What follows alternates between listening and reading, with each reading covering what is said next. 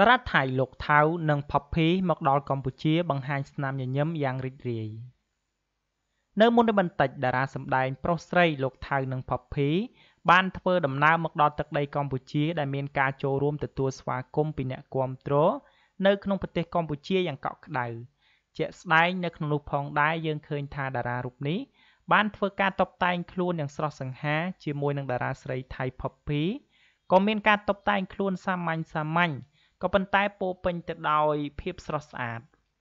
មិនត្រឹមតែប៉ុណ្ណោះពួកគេបានបង្ហាញនូវស្នាមញញឹមទៅកាន់អ្នកគាំទ្រនៅក្នុងប្រទេសកម្ពុជាជាច្រើន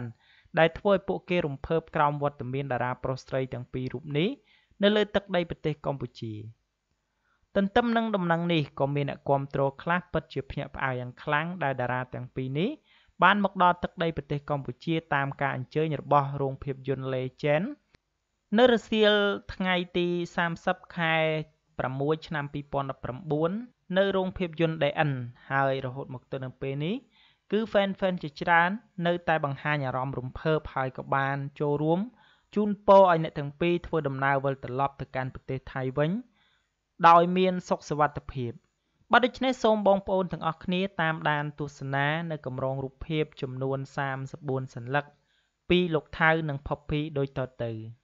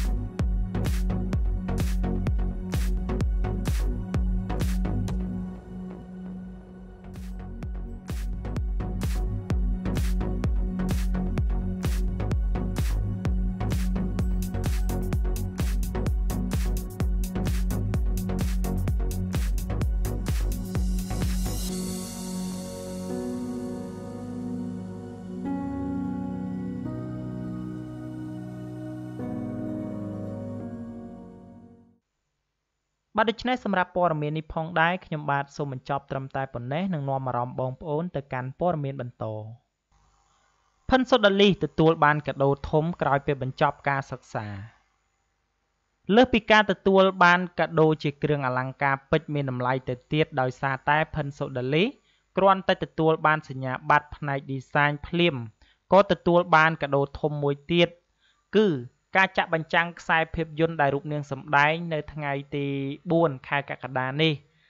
ដែលរូបនាងបានបញ្ចប់ការសិក្សាតែប៉ុន្មានថ្ងៃប៉ុណ្ណោះក៏ទទួលបានការចាក់បញ្ចាំងខ្សែភាពយន្តដែលរូបនាងប្រឹងសម្ដែងអស់ពីសមត្ថភាព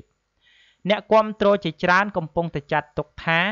នេះគឺជាការរៀបចំរបស់លោកអិនសុផិនក៏ប៉ុន្តែភាគីខាងផលិតកម្មបាននិយាយថា វាជារឿងចៃដន្យតែប៉ុណ្ណោះម្នាក់ម្នាក់បាននិយាយថាផិនសូដាលី ពិតជាទទួលបានកាដូស្កប់ចិត្តជាងរបស់ផ្សេងផ្សេងឆ្ងាយណាស់ដែលភាពយន្តរឿងប្រលឹងត្រូវចាក់បញ្ចាំងតែប្រមាណថ្ងៃបន្ទាប់ពីរូបនាងបញ្ចប់ការសិក្សាលើជំនាញឌីហ្សាញនៅសាលាអន្តរជាតិធំមួយភាពយន្តមួយនេះរូបនាងសំងំសម្ដែងជាយូរណាស់មកហើយក៏ប៉ុន្តែมันមានដំណឹងចាក់បញ្ចាំងលក់សម្បត្តិទាល់តែសោះដោយទៅតែនាងបញ្ចប់ការសិក្សាហើយទទួលបានសញ្ញាបត្រដែលមានតម្លៃ មិនអាចកាត់ថ្លៃបាន